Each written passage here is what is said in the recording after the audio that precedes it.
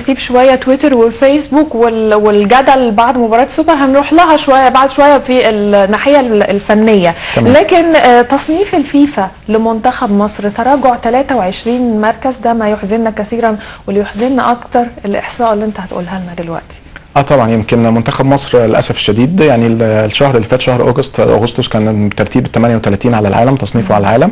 الشهر ده في سبتمبر بعد الهزيمتين أمام السنغال ثم تونس تراجع للمركز 61 يعني في تراجع 23 مركز في, التصنيف ده. طبعا تراجع كبير جدا على مستوى العالم على مستوى أفريقيا برضو في تراجع حوالي سبع مراكز آه، في التصنيف الأفريقي.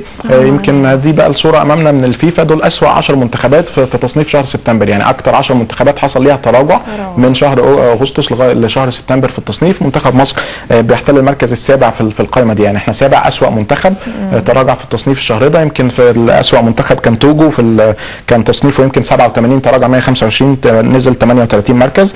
بعديه منتخب مقدونيا تراجع 36 مركز. ثم فنزويلا تراجع 36 مركز. دي الصورة من الفيفا. آه دي الصورة من الفيفا بالإنجلش. يمكن بعديها على طول هنعملها برضو جدول بالعربي عشان تكون أوضح للسادة المشاهدين. الصورة اللي بعديها. ده عدد المراكز اللي تراجعها كل منتخب. فيمكن القائمه كلها منتخبات متواضعة جدا. يعني إن اسم مصر حتى يتحط في وسط المنتخبات دي. بنتكلم توجو مقدونيا فنزويلا انجولا سيراليون بوليفيا. كلها منتخبات مستوى متراجع وتراجعت أكتر في تصنيف آه، شهر سبتمبر. دي الصورة اللي أمامنا بالعربي لكل منتخب وتصنيفه الحالي والتصنيف السابق بتاع الشهر اللي فات وعدد مراكز التراجع. زي ما قلت لك توجو تراجعت 38 مركز مقدونيا وفنزويلا 36 مصر بتيجي في المركز السابع كانت في التص- التصنيف الحالي بتاعها 61 وكانت 38 الشهر اللي فات تراجعت 23 مركز يعني ضمن أسوأ 10 منتخبات آه، في في العالم. دي طبعا يعني ده في. العالم لكن إحنا كان دايما يعني في معظم الأحيان بنبص على أفريقيا اللي إحنا اتحرمنا من المشاركة في الأمم الأفريقية سنتين على التوالي. تمام. آه، آه، التصنيف الإفريقي دلوقتي مصر فين؟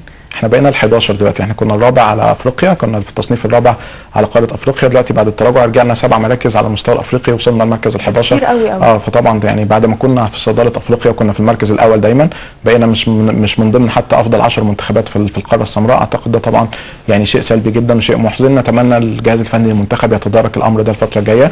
آه نحاول نلعب برضه ماتشات ودية شوية تكون أقوى مع فرق منتخبات أقوى لأن مثلا الفوز على كينيا ما بيديش نقط كتير لأنه منتخب متواضع.